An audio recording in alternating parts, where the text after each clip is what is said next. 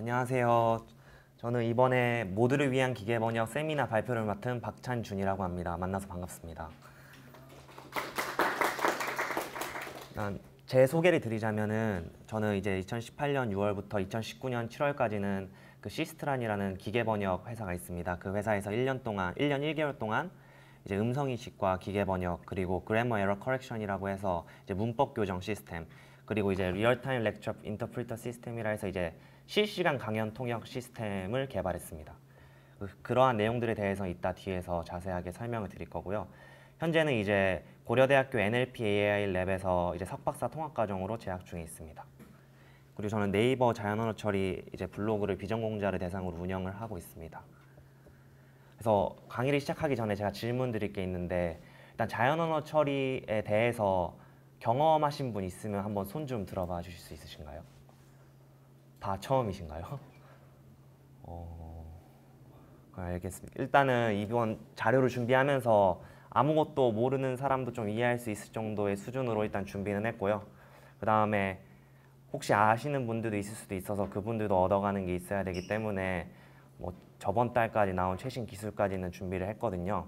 그래서 뭐 버트, 엑셀넷 이런 기술에 대해서 들어보셨는지 모르겠는데 그런 부분들까지도 어떠한 건지에 대해서는 설명을 드리도록 하겠습니다. 그래서 목차는 다음과 같습니다. 일단 자연 언어 처리 이제 기계 번역이지만은 자연 언어 처리에 대해서 좀 이해하고 있어야 기계 번역에 대해서 더 잘 이해할 수 있거든요.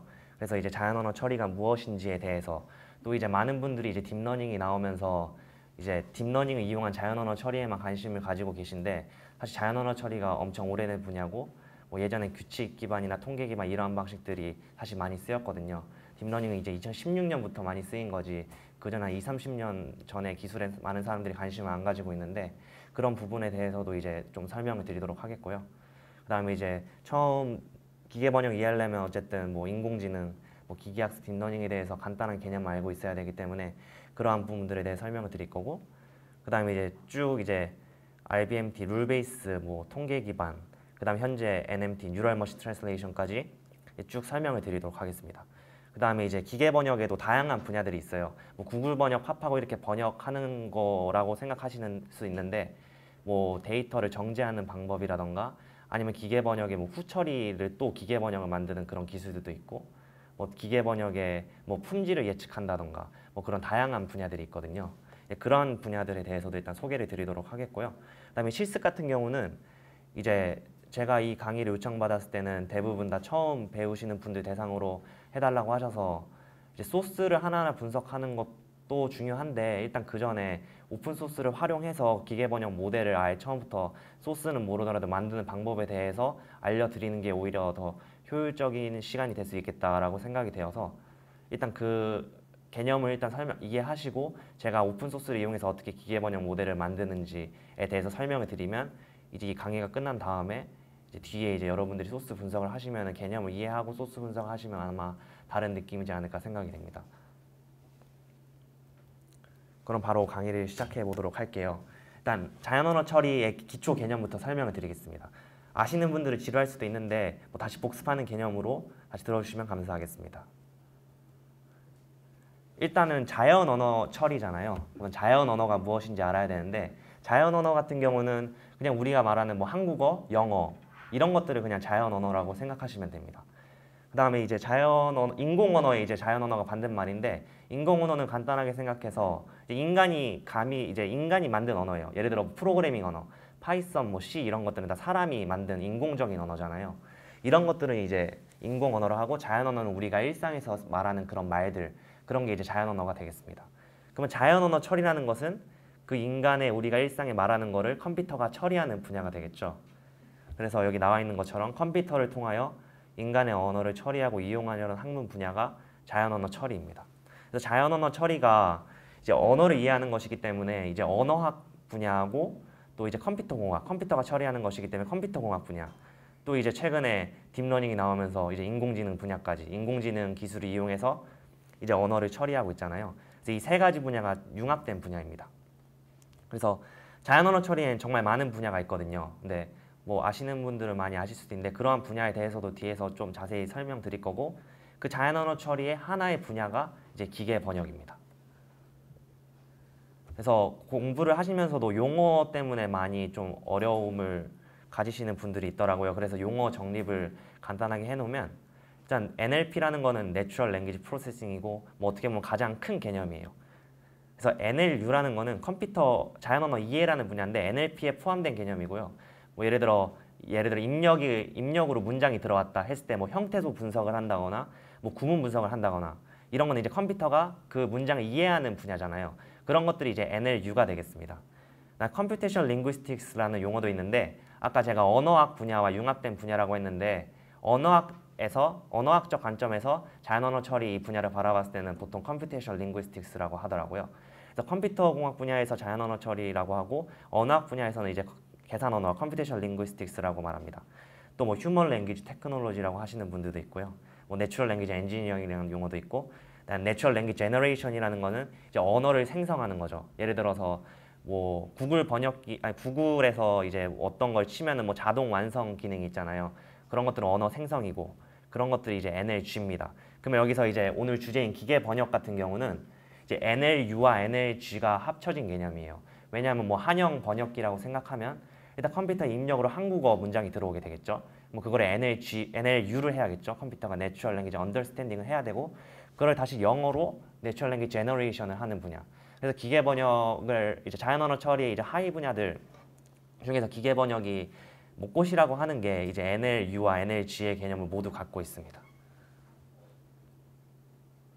그다음에 이제 자연 언어 처리가 이제 상당히 어려운 분야 중 하나입니다. 뭐 딥러닝이 나오면서 많은 발전이 이루어지긴 했는데요. 그래도 아직까지도 많은 어려움들이 있는데 그런 어려움들을 뭐 전통적인 관점에서 설명을 드리면 뭐 형태소 분석을 한다고 했을 때 뭐 감기 는이 감기가 뭐 명사 그다음 는은 조사 아니면 감이 뭐 동사 어간 뭐 기가 명사와 어미 는 조사 이렇게 다양하게 분석이 될 수 있잖아요. 그래서 이렇게 다양하게 분석이 될 수 있어 애매성이라고 하는데 그러한 부, 그러한 문제 때문에 자연 언어 처리가 상당히 어려움을 갖고 있습니다. 또한 또 구문 분석 같은 경우도 이게 다 저렇게 트리 구문 분석할 때 트리를 생성하게 되는데요. 트리도 이렇게 두 가지로 저렇게 똑같은 문장도 저렇게 두 가지 트리로 생성이 될 수 있어서 컴퓨터 입장에서 상당히 난해함을 갖고 있습니다.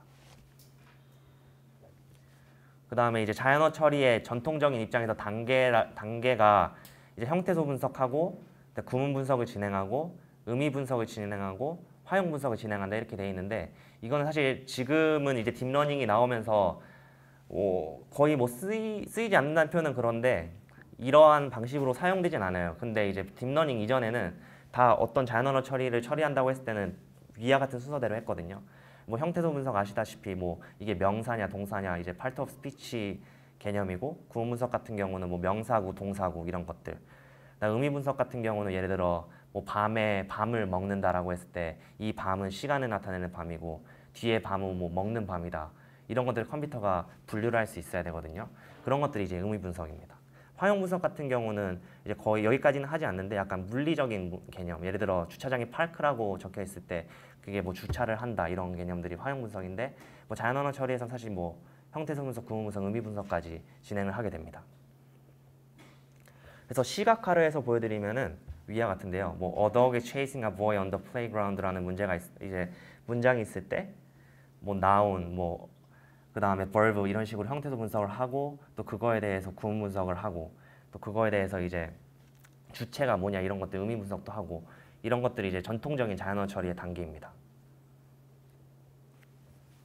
근데 이러한 것들이 딥러닝 딥러닝에서는 이제 end to end 시스템이기 때문에 데이터만 있으면 알아서 해주는데 회사에서 상용화 시스템을 하게 되면은 이러한 기법들을 사용을 안할 수가 없거든요. 뭐 후처리, 전처리를 해서 어떻게든 성능을 내야 되기 때문에 딥러닝 모델만 딱 만들어지고 그것만으로 서비스를 하기에는 상당히 문제가 있어서 이러한 개념들을 알고 계시는 것도 만약 실무에 계신 분들이라면 좀 필요한 개념이라 생각이 됩니다. 그래서 하나하나 자연어 처리 맨 밑단계부터 살펴보면 형태소 분석 이전에는 렉시컬 어널라이시스라는 걸 합니다. 이게 뭐냐면은 이제 문장 같은 경우 뭐 여러 문장이 들어온다 했을 때 컴퓨터가 우리는 마침표가 딱 찍어져 있으면 이게 문장의 끝이구나라는 걸 알 수 있는데 컴퓨터는 그런 것들을 다 알아서 분류하기가 상당히 쉽지가 않거든요. 그래서 문장 분리 이런 것도 상당히 중요한 문제가 됩니다.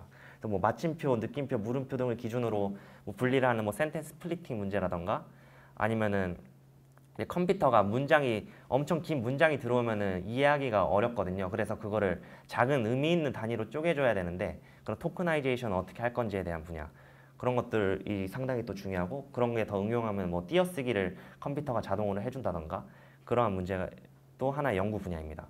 그 다음에 morphological 같은 경우는 아까 말씀드린 이 형태소 분석 그런 분야고요. stemming 같은 경우는 뭐 동사 원형으로 뭐 분리를 어근을 찾아준다던가 아, lemmatization 같은 경우는 뭐 단어를 원형으로 복귀해 주는 거 예를 들어 are이 입력으로 들어오면 be로 해줌으로써 좀 더 컴퓨터에게 통일성을 부여하는 그런 작업들도 필요하거든요.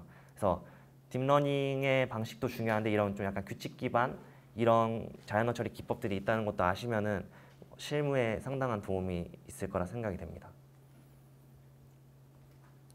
그 다음에 이제 형태소 분석, lexical analysis 다음에 그 다음 단계가 말씀드린 syntax analysis인데 이거 같은 경우는 이제 구문을 분석하는 거예요. 이 명사구, 뭐 동사구 이런 것들을 찾아주는 그러한 분야도 있습니다. 이런 것들도 최근에는 딥러닝으로 많이 처리를 하고 있어요. 이 분야만 따로. semantic analysis 같은 경우는 이게 왜 필요하냐면은 뭐 형태소도 형태소 분석, 구문 분석이 딱 맞게 됐는데 의미적으로 안 맞는 경우가 있어요. 예를 들어서 뭐 사람이 사과를 먹는다. 이거는 문법적으로 아무런 문제가 없고 또 사람이 비행기를 먹는다. 이것도 문법적으로나 형태소 관점으로나 아무런 문제가 없습니다. 근데 사람이 비행기를 먹는다라는 거는 의미적으로는 말이 안 되잖아요. 그래서 컴퓨터는 이런 이런 것들이 아 말이 안 돼, 의미적으로 말이 안 되는구나라는 것을 알 수 있어야 되거든요. 그래서 의미 분석 단계까지 필요가 하게 됩니다. 그래서 형태소 분석, 구문 분석도 완벽하게 됐는데 의미 분석이, 잘못되면은 사람이 어떤 뭐 서비스를 챗봇 시스템을 예를 들어서 서비스를 이렇게 우리가 하고 있을 때 사람이 비행기를 먹는다 이거는 말이 안 되는 문장이잖아요. 근데 컴퓨터도 그러니까 의미 분석까지 잘 해낼 수 있게 잘 설계를 해야 합니다. 그리고 이제 디스코스 어널리시스 이거 같은 경우는 이제 클로바, 뭐 카카오, 미니 이런 것들 생각하시면 되는데요. 이제 사람 이제 기계한테 말을 하면은 그게 음성 인식을 하게 되고 그거를 이제 뭐 예를 들어서 오늘 날씨가 어때라는 문장이 들어왔으면 그걸 아까 설명드린 natural language understanding을 해야 되잖아요.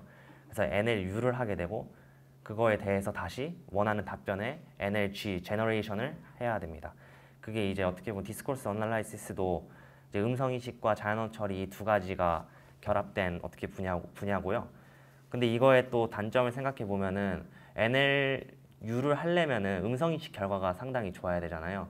그래서 이제 음성 인식 성능에 따라서 NLU의 성능이 또 왔다 갔다 하는 그런 문제가 있고요. 또 하나의 연구 분야로는 음성 인식 결과를 100% 신뢰할 수 없기 때문에 NLU의 자연어 2의 입력 전에 이거 음성 인식 결과를 후처리하는 그냥 그런 분야도 있어요. 그래서 아까 제가 회사에서 실시간 강연 통역 시스템을 이제 해, 개발을 했었다고 말씀을 드렸는데 실시간 강연 통역 시스템을 설명드리면 예를 들어 학교에서 교수님이 이게 계속 저처럼 말을 하면은 그게 여기 PPT 화면에 음성 인식이 되고 그게 이제 번역까지 되는 그런 시스템이거든요. 실시간으로 음성 인식이 되고 번역까지 되는. 근데 그거를 생각을 해보면은 음성 인식이 어느 단위로 끊어주느냐에 따라서 기계 번역 입력 문장에 들어가는 게 달라지잖아요. 그래서 기계 번역의 입력 문장을 NL 어떻게 보면 NLU를 잘 하기 위해서 음성 인식 결과를 나온 거를 잘 잘라주는 그런 기술들도 많이 필요하거든요. 그래서 어쨌든 그런 것들은 딥러닝으로 해결하는 것보다는 규칙 기반이나 통계 기반으로 해결을 해야 되기 때문에 이제 딥러닝에 대해서 아는 것도 중요한데 규칙 기반, 통계 기반을 알게 되면은 더 많은 도움이 될 수 있습니다. 그래서 이게 하나로 정, 이제까지 말씀드린 걸 정리해 드리는 건데요. 그러니까 형태소 분석, 구문 분석, 뭐 의미 분석 이런 것들은 NLU에 해당이 되고 그 다음에 이제 기계 번역처럼 이제 문장을 어떻게 생성한다거나 아니면 뭐 챗봇처럼 챗봇처럼 뭐 기계가 말을 해준다 음성 합성을 통해서 말을 해준다거나 이런 것들은 이제 NLG 분야가 되겠습니다. 그래서 오늘 주제인 기계 번역 같은 경우 아까 말씀드린 것처럼 NLU, NLG 두 가지 개념이 다 들어있는 개념입니다. 이제 언어학 분야와 컴퓨터 공학 분야, 인공지능 분야가 세 가지가 융합되어 있다고 말씀드렸는데요. 이제 언어학 개념의 자연 언어 처리에 필요한 언어학 개념에 대해서만 간단하게 살펴보고 그 다음에 이제 인공지능 분야에 대해서 살펴보고 그 다음에 이제 기계 번역에 대해서 자세하게 살펴보도록 하겠습니다. 그래서 뭐 아, 밑, 맨 밑단계부터 살펴보면은 자연어 처리에 쓰이는 개념은 아닌데 음음론은 이제 음성 인식에 쓰이는 개념이에요. 그래서 뭐 고등학교 때나 뭐 영어 단어를 외워보신 분들이 있다면은 이제 발음 기호가 있을 텐데요. 그 발음 기호로 바꿔주는데 이제 음음론이 사용이 됩니다. 그래서 음소라는 개념이 있는데 그거는 이제 더 이상 작게 나눌 수 없는 음운론상의 이제 최소 단위가 되겠고요. 이제 형태소 이제 형태론을 이제 살펴보면은 이제 뭐 어절 단위다, 뭐 단어 단위다, 형태소 단위다 이런 것들에 대해서 또 많은 분들이 용어가 헷갈리실 수도 있는데요. 어절이라는 거는 결국 띄어쓰기 단위라고 생각하시면 돼요. 뭐 나는 밥을 먹는다 했을 때 나는 띄고 밥을 띄고 먹는다잖아요. 그럼 난 어절 단위라 하면 나는 하고 하나, 막 밥을 뭐 둘 먹는다 셋 이렇게 어절 단위 나누는 거 결국 띄어쓰기 단위라 생각하시면 되고요. 그다음에 이제 형태소 분석이라는 거에서 이제 형태소가 필요하게 되는데 형태소라는 것은 결국 의미를 가지는 언어의 단위 중에서 가장 작은 단위입니다. 그래서 의미 혹은 문법적 기능의 최소 단위라고 보시면 되는데 예를 들어서 뭐 나, 뭐 는 이런 것들이 는이 왜 최소 단위라고 생각하실 수도 있는데 문법적인 기능을 가지는 최소 단위거든요. 그래서 의미 혹은 문법적 단위라고 했는데 여기 써 있는데 그래서 형태소는 이렇게 의미를 가지는 언어 단위 중 가장 작은 단위라고 이해를 하시고 계시면 됩니다. 형태소 분석이라는 것은 그 형태학적 언어학적인 그 개념을 여기다 적용한 건데 뭐 세종 대왕 이거는 뭐 고유 명사다. 뭐 님, 은, 뭐 이런 것들, 뭐 조사다, 뭐 그런 것들을 컴퓨터가 알아서 tagging을 해주는 시스템이고요. 이런 것들은 한국어 형태소 분석은 뭐 오픈 소스로 뭐 KoNLPy나 MeCab 이런 것들이 상당히 잘 돼 있어서 뭐 아마 대부분 분들이 이런 것들을 사용하실 거라고 생각을 합니다. 그래서 뭐 똑같이 뭐 형태소 분석 같은 경우는 언어학에서 그 형태론을 자연언어 처리에 적용한 분야고 입력 입력으로 문자열이 들어오면은 그거에 형태소라는 최소 단위로 의미 단위로 분리를 해서 그거에 이제 태깅을 붙여주는 태깅을 붙이다는 말은 컴퓨터가 이거에가 뭐 명사다 동사다라는 레이블링을 해주는 거라고 생각하시면 됩니다. 근데 형태소 분석도 이제 영어나 불어 같은 경우는 상당히 쉬운데 한국어는 상당히 어려워요. 왜냐하면 굴절어여 가지고 조사에 따라서 의미가 막 달라지고 그래서 중의성 문제도 상당하고요. 그래서 한국어 형태소 분석은 상당히 어려운 편이고 영어 형태소 분석은 나름 그나마 좀 쉬운 편입니다. 그래도 지금 딥러닝이 나오면서 형태소 분석기 성능이 거의 98%를 찍고 있거든요. 그래서 사실 이 분야는 거의 뭐 연구가 끝났다고 봐도 무방한 분야입니다. 그래서 아까 말씀드린 뭐, 뭐 어려운 이유, 뭐 첨가어, 굴절어, 스와힐리어 뭐 이런 것들이 있는데 이런 것들은 패스를 하도록 하겠고요. 처음 말씀드린 형태소 분석이 어려운 뭐 강, 이렇게 다양하게 중의성으로 해석이 되는 거, 또 고유명사 이런 것들에 대해서 컴퓨터에 사전에 뭐 자연언어 처리라는 용어가 없으면은 형태소 분석이 쉽지 않잖아요. 또 예를 들어 신조어 이런 것들은 사전에 만약에 형태소 분석 그 결과가 없으면은 상당히 어렵거든요. 그래서 이런 신조어나 뭐 중의성 문제 때문에 형태소 분석이 상당히 어려움을 갖고 있는 분야는 사실입니다. 그다음에 두 번째로 아까 그 구문 분석 다시 설명을 드리면 문장의 구조적 성질을 규칙으로 표현한 건데 뭐 John ate an apple이라 했을 때 S가 이제 sentence고 그게 뭐 NP, VP, noun phrase, verb phrase 이렇게 나눠지고 그게 뭐 noun, verb, article, noun이다 이렇게 구문 분석 트리를 만드는 게 구문론에서 이제 적용되는 분야고요. 이게 보시면은 이제 문법에서 sentence는 NP, VP로 나눠진다. 뭐 art, art와 뭐 N으로 나눠진다. NP는 N으로 되고 VP는 VIMP로 이렇게 문법적인 규칙을 하나하나 다 규칙으로 서술해서 문장이 들어왔을 때 그거에 대해 형태소 분석을 진행한 후에 그 다음에 이제 구문 분석을 진행할 때 이러한 문법적인 규칙들을 컴퓨터한테 입력을 되는 거에 사용을 하게 되거든요. 그래서 이제 구문론이 이제 언어학이 필요한 게 이제 구문론적인 그런 언어학적 지식을 갖고 있어야 이런 규칙을 설계를 할 수가 있잖아요. 그래서 언어학자의 역할이 구문 분석을 하는데 상당히 중요했었습니다. 예전에는. 근데 지금은 이제 또 이게 딥러닝이 나오면서 데이터만 있으면 컴퓨터가 알아서 분류를 해줘가지고 언어학자의 역할이 예전보다는 많이 준 것이 사실입니다.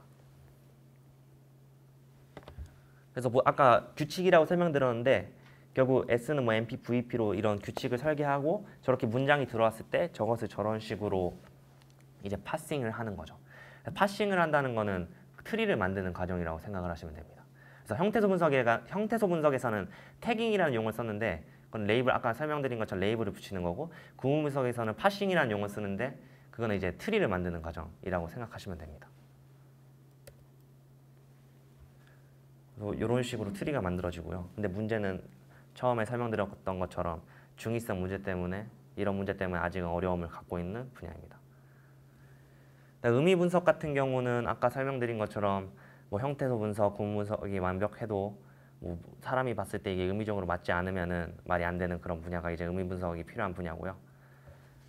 그다음에 여기서 이제 안 나와 있는 것 중에서 그 중의성 해소라는 Word Sense Disambiguation이라는 분야가 있는데 그거 그런 분야는 이제 아까 설명드린 것처럼 뭐 밤에 밤을 먹는다 해서 컴퓨터가 이 밤과 밤을 구분할 수 있는 거 그런 인간이 느꼈을 때 중의적인 것들을 해, 이제 해결할 수 있는 거 그런 게 이제 WSD 분야입니다. 그런 것들도 이제 많은 연구가 진행이 되고 있고요. 국내에서는 또 울산대학교에서 그 부분에 대해서 집중적으로 연구를 하고 있거든요. 그래서 그 홈페이지를 가보시면은 입력으로 문장을 넣었을 때 중의적인 것을 해소하는 그런 데모를 또 경험해 보실 수도 있습니다.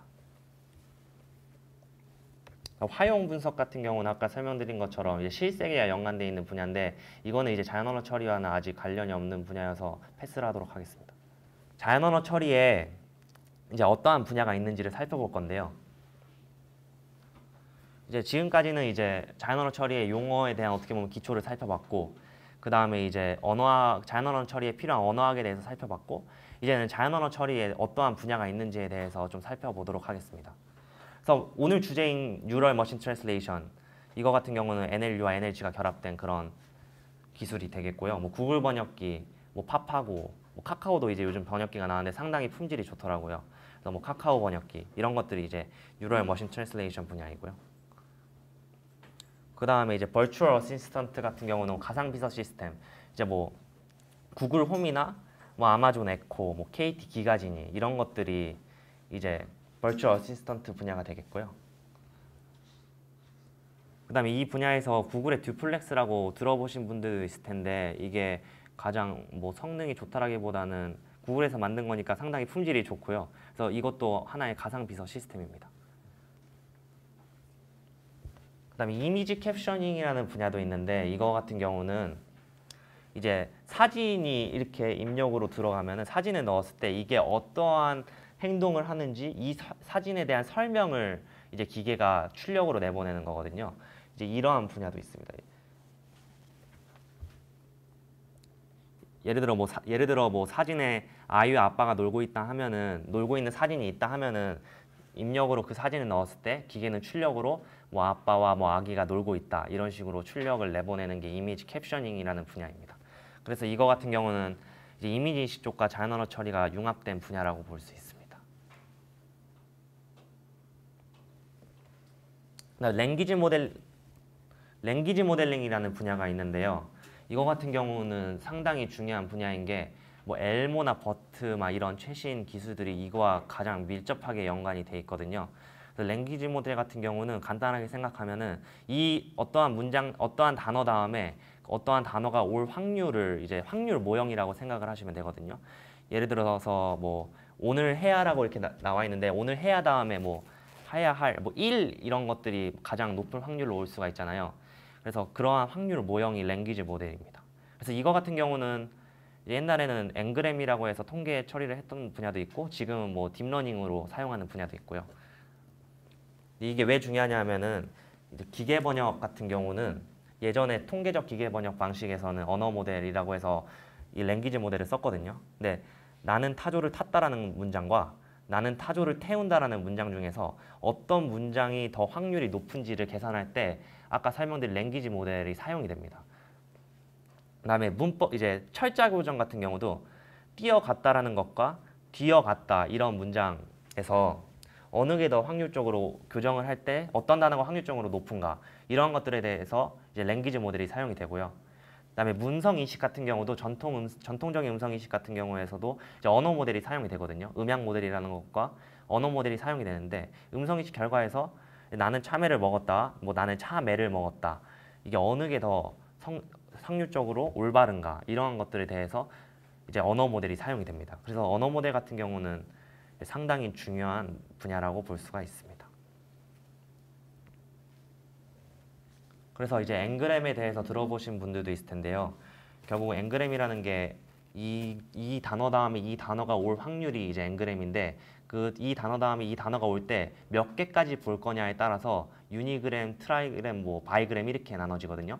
두 개를 보면 bigram이고요. 세 개를 보면 trigram이고 그 다음에 네 개를 보면 뭐 4-gram, 하나 보면 이제 unigram 이런 식으로 이제 language model 전통적인 통계 방식에서는 이제 저렇게 n-gram이라는 용어를 썼어요. 근데 이제 요 수식 같은 경우는 이제 모든 단어를 다 보면 좋겠죠. 뭐 10개, 11개를 보면 좋겠는데 그렇게 되면은 이제 거의 뭐 컴퓨터가 계산하는 데 있어서 계산량 초과가 되기 때문에 거의 이제 한 개만 볼 거냐, 두 개냐 볼 거냐, 세 개냐 볼 거냐 이런 거 가정을 이제 완- 이 단어 다음 이 단어가 올 확률이 충분하다는 어떻게 보면 마르코프 가정이라고 하는데 하나만 보면 된다, 두 개만 보면 된다, 세 개만 보면 된다 그런 식으로 그렇게 뭐 가정을 하고 하는 게 이러한 수식, 이 수식입니다. 그다음에 랭귀지 모델이 중요하다고 설명드린 게 이제 버트나 뭐 GPT, ELMo 이거를 들어보신 분들도 있을 수도 있고 안 들어보신 분들도 있을 수도 있는데 자연 언어 처리가 딥러닝이 나오면서 성능이 한번 확 올랐고요. 그다음에 이제 BERT라는 게 나오면서 성능이 한번 쫙 올랐거든요. 근데 이제 BERT에 이제 language model이라는 개념과 상당히 밀접해 있습니다. 근데 그건 이제 뒤에서 자세하게 설명을 드릴 거고요. 그래서 현재 뭐 자연 언어 처리에서 language representation이라는 분야가 정말 뜨거운 분야인데 그 분야에서 이제 LM이 사용이 되었습니다. 그 다음에 이제 Name Entity Recognition이라고 해서 개체명 인식이라는 분야도 있어요.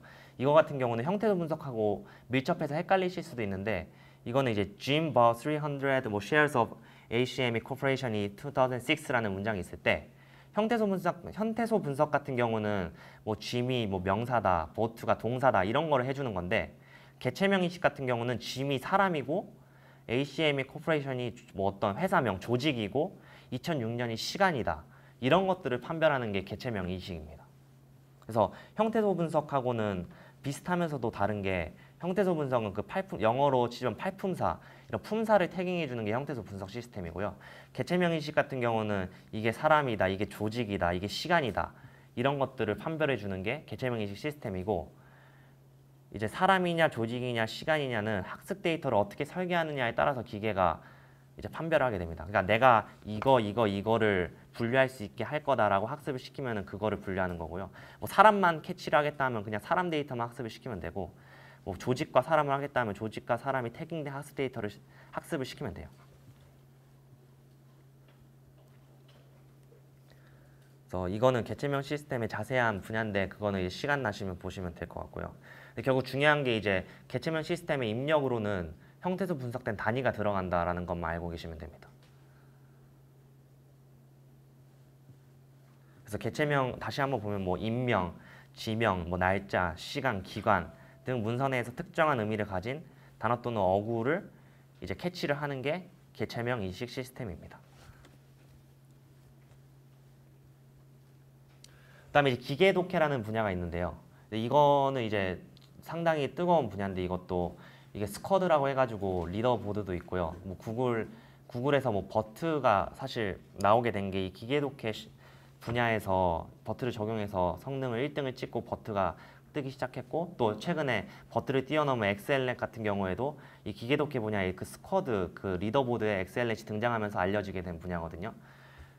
그래서 이제 기계 독해 같은 경우는 보시면은 뭐 수능을 푸는 거라고 보시면 돼요. 수능 비문학 문제를 푸는 거라고 보시면 되는데 이제 입력으로 이런 도큐멘트 뭐 수능으로 치자면 비문학 문장이 들어가고 이제 쿼리는 이제 질문이에요. 뭐 어느 게 옳은가라는 거를 해- 입력으로 들어갔을 때 기계는 그거에 대한 정답을 맞추는 게 기계 독해 분야예요. 그래서 기계 독해가 붙은 이유가 저렇게 도큐멘트를 해석을 하고 그거에 대한 정- 이제 query 질문이 들어왔을 때 그거에 대한 해답을 내놔야 되잖아요. 그래서 machine reading comprehension이라고 해가지고 기계 독해라는 분야 기계 독해라는 이름이 붙여진 거고요.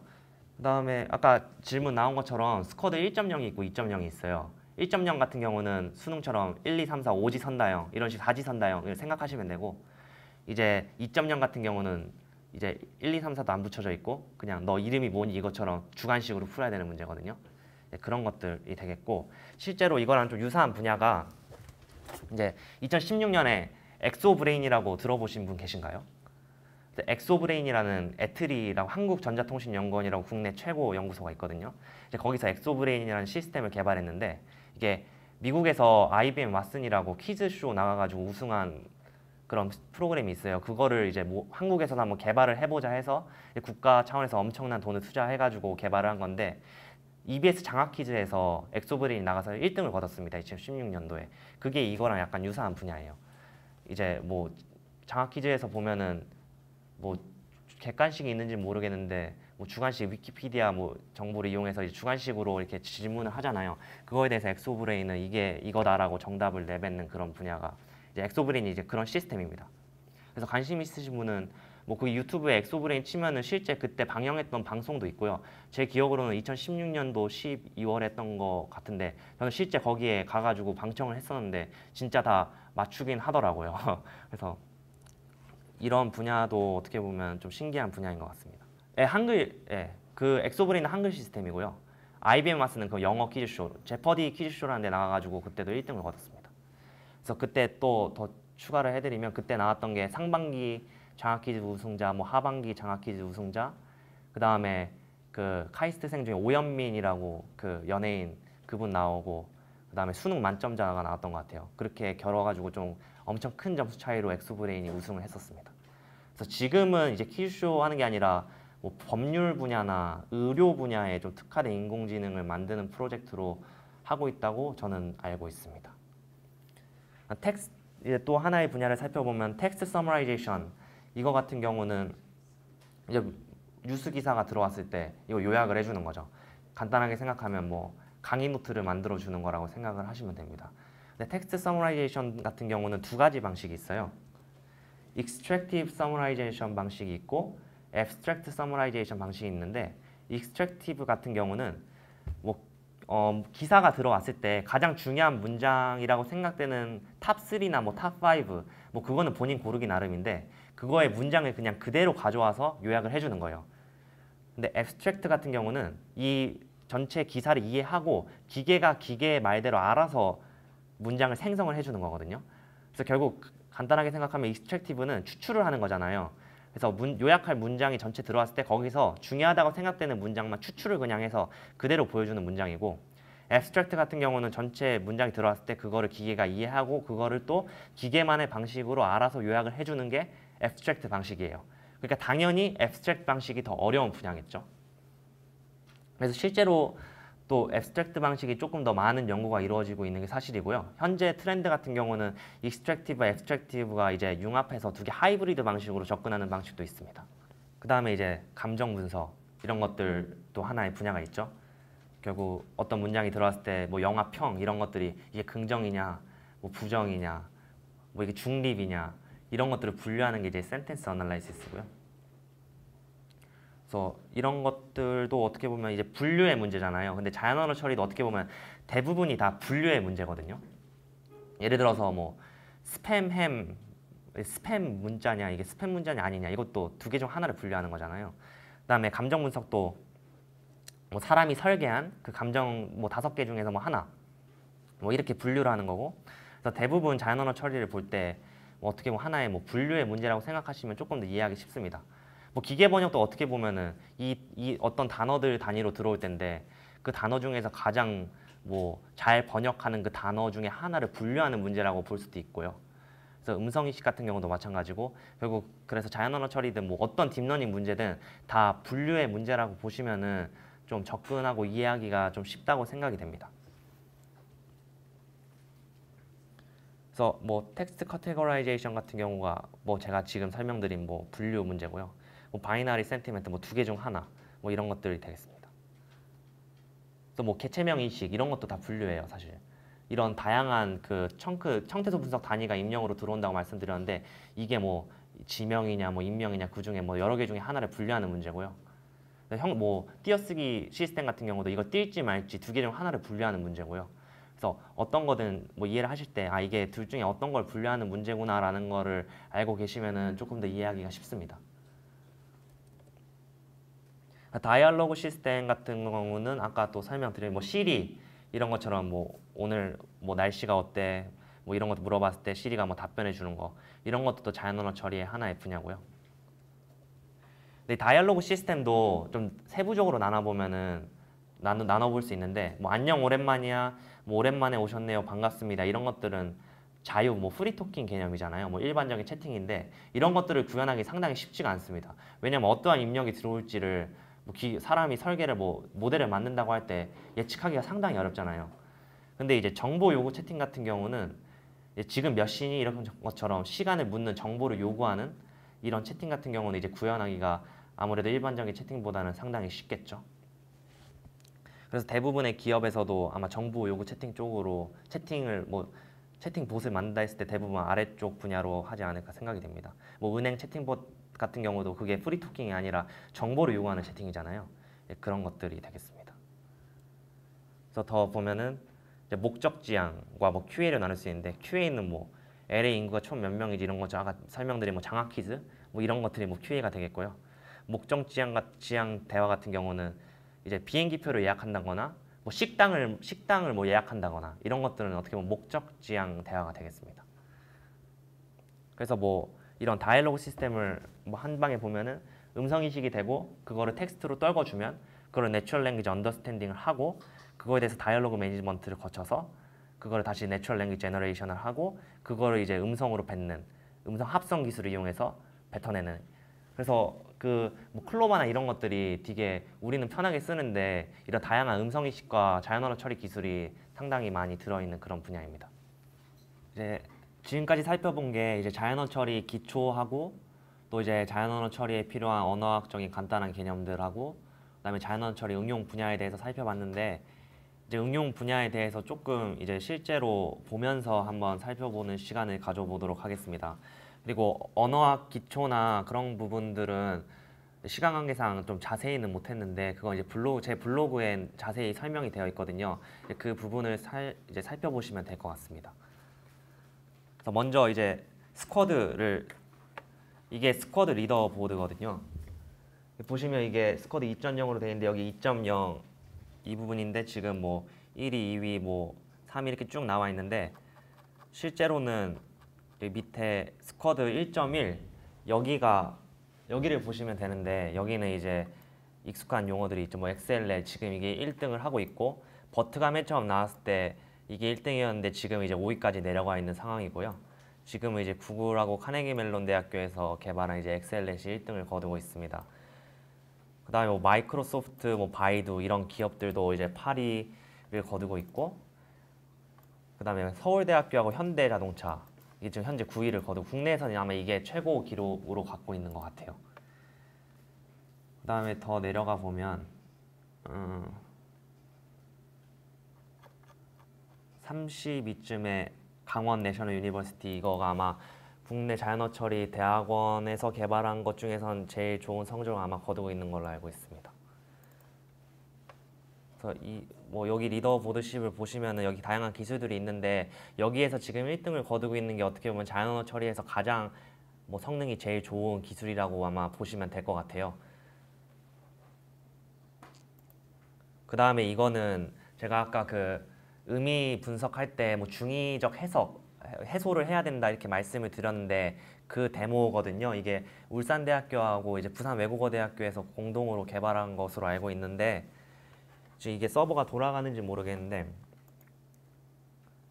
네 여기 배를 먹고 배를 탔더니 배가 아팠다. 사람이 봤을 때는 이제 직관적으로 이 배가 어떠한 차이를 갖고 있는지 알 수 있잖아요. 배를 먹은 거는 이 먹는 배고 배를 탄 거는 이제 타는 배고 네, 배가 아팠다는 거 우리 신체의 그 배인데 여기 결과를 보시면은 여기 이게 배가 이제 페어라고 기계가 말하고 있고 근데 여기는 배가 이제 보트라고 말하고 있고 여기 배는 이제 벨리 라고 말하고 있어요. 그래서 컴퓨터가 이렇게 중의적인 것을 해소할 수 있는 그런 데모입니다. 이거는 디- 제가 알기론 딥러닝을 사용한 거 아니고 아마 의미 그래프라고 해가지고 약간 규칙 기반이라고 생각을 하시면 될 것 같아요. 그 기술로도 상당히 좋은 성능을 보이고 있습니다. 그 다음에 엑소브레인 아까 말씀을 드렸는데 그, 그 기사를 하나 보면 지난 3월 인공지능 알파고와 이세돌 9단의 바둑 대결이 있었죠. 이번에는 우리나라 연구진이 개발한 인공지능이 인간과 퀴즈 대결을 벌였는데 인공지능이 완승했습니다. 김준석 기자입니다. 국내 개발 인공지능 엑소브레인이 대결한 퀴즈 상대는 수능 시험 만점자와 퀴즈 왕중왕 등 4명. 엑소브레인은 대결 초반 학습하지 않은 분야의 문제에서는 틀린 답을 내기도 했지만 차근차근 정답을 맞추며 참가자들을 앞서 나갔고 최종 승자는 엑소 브레인입니다. 결국 600점 만점 중 510점을 획득해 2등과의 점수차를 160점까지 벌리고 대결을 끝냈습니다. 몸밖에 뇌라는 뜻을 가진 엑소브레인은 지난 2013년부터 기계가 인간의 언어를 이해해 소통하고 전문 지식을 제공하는 인공지능을 만들기 위해 개발되었습니다. 지금까지 백과사전과 일반 상식 등 12만 권 분량의 지식을 학습한 엑소브레인에는 여러 개 문장으로 구성된 질문을 이해하고 정답을 추론하는 기술 등이 탑재되어 있습니다. 그 사람의 말을 정확하게 알아듣고요. 이제 학생이 열심히 퀴즈 공부를 하듯이 엑소브레인도 열심히 이제 퀴즈 공부를 해서 한국전자통신연구원은 앞으로 엑소브레인을 법률과 특허, 상담 등에 적용해 전문가 의사결정을 지원하고 영어로 된 질문도 이해할 수 있도록 연구를 진행할 계획입니다. MBC 뉴스 김준성입니다. 이런 식으로 이게 아마 16년도로 알고 있는데 그때 엑소브레인이 우승을 거뒀었습니다. 그 다음에 이제 실시간 통역 시스템도 한번 보여드리도록 하겠습니다. 百度在十八年前创业，赶上了互联网的浪潮。两千年，当时中国只有一千万互联网用户， 今天中国的互联网用户已经超过八亿了。AI 对于社会的影响将远远超过互联网。过去的二十年，我们都感受到了互联网所带来的变化。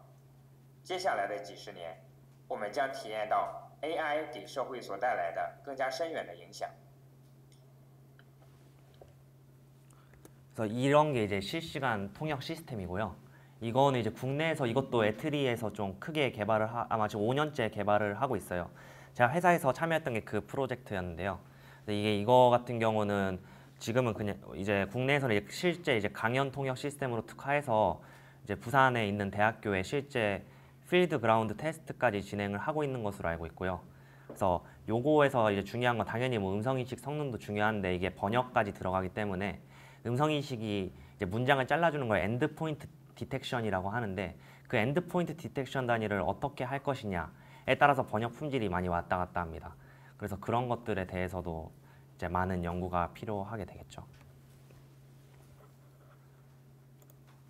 그 다음에 요거가 이제 그냥 하나의 기사를 가져왔는데 네이버 같은 경우에 요약봇이라고 있어요.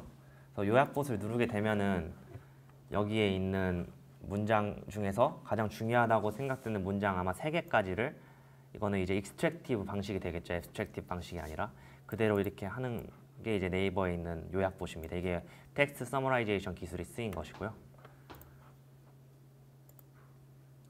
그 다음에 이제 NLTK를 설명을 드릴 건데 요거는 이제 제가 계속 NLU 뭐 형태소 분석, 구문 분석 이런 것들을 설명을 드렸잖아요.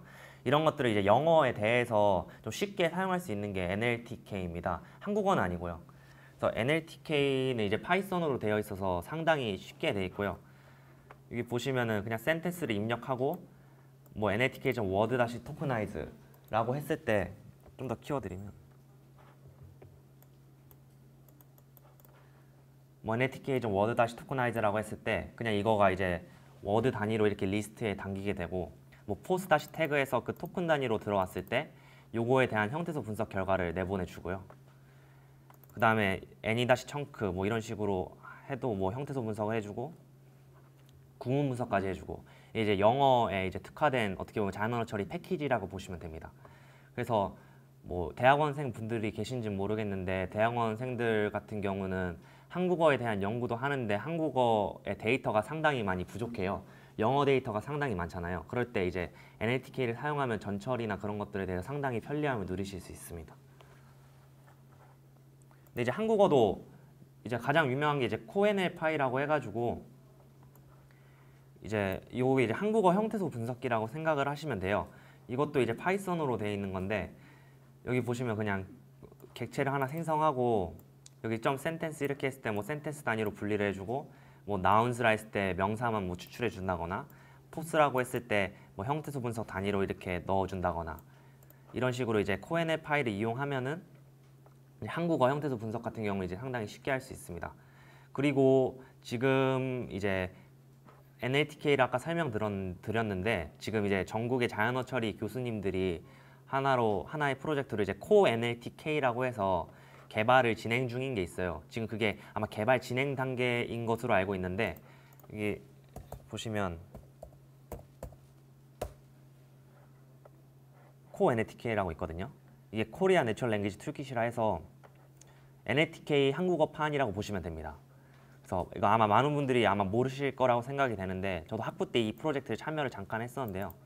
이게 코엔 NLTK랑 비슷해요. 뭐 어널라이즈라 했을 때 이거를 형태소 단위로 분석을 해주고 뭐 감정 분석도 있고 여기 API를 보시면 막 기계 번역까지 지금 들어있는 것으로 나와 있는데 개발이 다 된 건 아니고요.